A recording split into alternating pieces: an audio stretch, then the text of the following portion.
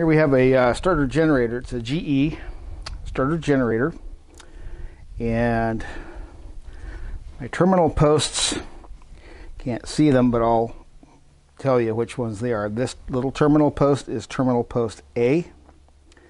This big terminal post is E negative. And this other big post on the other side is B positive. And on the far side is another one that looks like the A post, but is labeled D. you have to shunt a wire from A to B positive, and that feeds the, the field.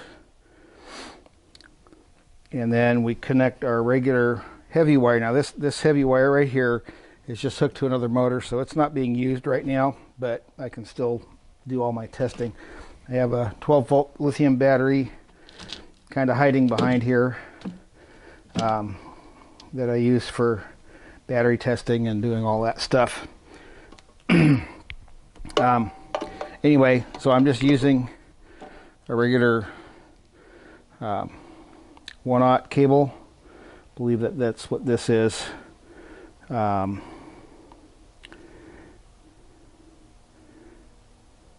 something like that. A anyway, um, so I'm gonna, I've got my positive hooked up to my battery pack. And then my negative, I'm gonna just touch the negative post here and touch this one here. There's what it sounds like.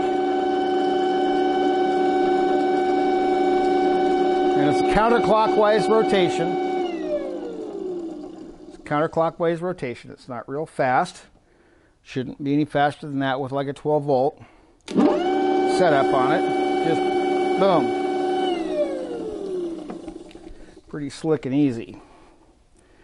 Now, I'm not sure if I can wiggle this thing out of here. So I'm going to unhook my piece right there. So it has some magnetized stuff in it right now. So let's see what happens here.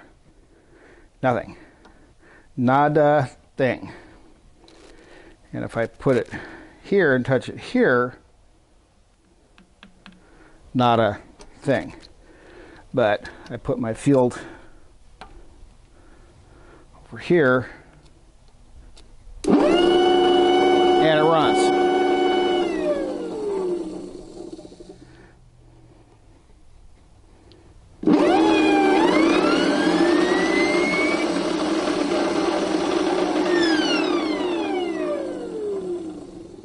Notice that? So what I did is called field weakening.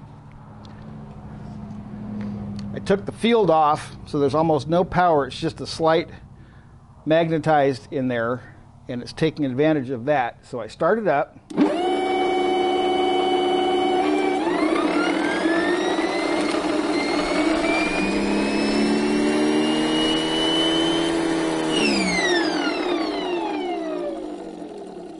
Field on it, it's gonna it's gonna drag it back down like regenerative braking.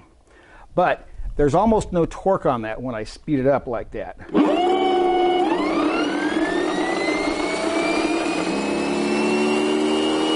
just runs fast.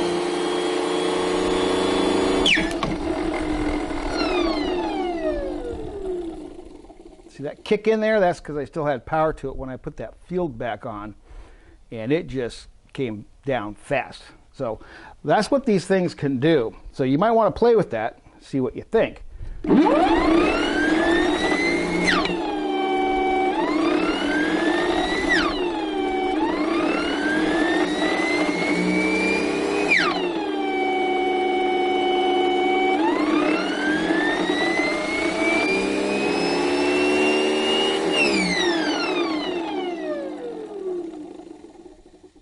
Stops. So there you go. There's a little bit of playing fun that you can do with your uh, little motor. Um, motor still running cool, but the back end of the motor here, and I'll swing the camera around, is open, at least on mine, and not just into the not just into the brushes, but on the very back side. And there's actually a cover that goes over these things. And the cover goes over it. It's got a big hole in it. Have a big blower that blows air in through this thing, and they need these things need a lot of air for cooling when you're running them. So when you're running it with the field connected, there's a lot of torque. There's going to be a lot of torque to the motor, so it has some good power. But you have to get some good voltage to it in order to get it to run fast uh, with with the uh, field windings turned on. Without the field windings um, or, or, field weakening is basically what it is. Um, it's not how you properly do field weakening, but that's the basic premise. You can uh, standard SepEx motor, you just reduce the voltage to the field and the motor speeds up because there's there's but there's less torque. So if you want the torque and you're going to need it on a low volt system, you want to just leave that hooked up. Don't worry about anything. Something over here is kind of hot.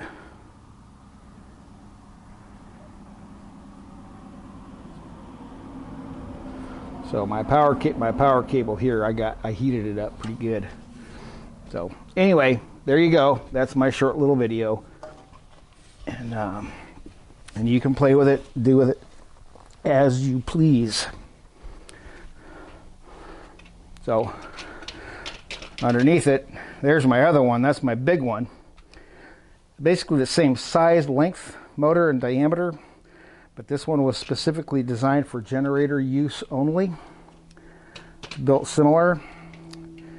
Has uh, your A post, your D post on the far side, your um, positives. This one has two positive terminals and one negative terminal, so doesn't matter. But the C and B, or yeah, the C and B are the same. Um, so it doesn't matter which one of those you use on that one. That's not quite the same as what you have.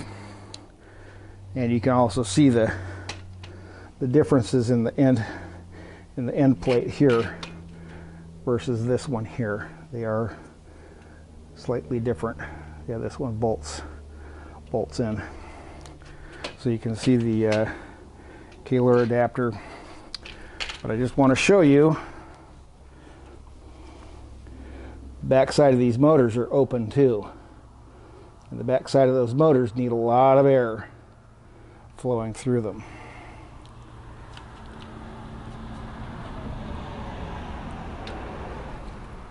And the generator that you there, the engine you see there is a diesel engine to run the little motor here to generate power. So that's what I'm using it for. And this one here, I've just played with it. Uh, it's got new bearings in the adapter. Um, can be used in a bug or any Volkswagen. Um, so anyway, we'll uh, we'll email again later.